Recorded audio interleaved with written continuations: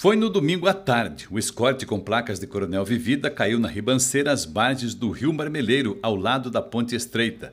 Este senhor que mora debaixo da ponte conversou com o motorista e as duas pessoas que estavam de carona. Só escutei o estouro que deu ali no meio-fio, que o rapaz faltou o freio do carro dele e ele desceu lá embaixo da ponte ali. Tirou fora para não bater na ponte? Tirou de fora para não bater nos, nos outros carros que estavam parados e desceu reto lá embaixo. E aí o senhor viu eles se machucaram?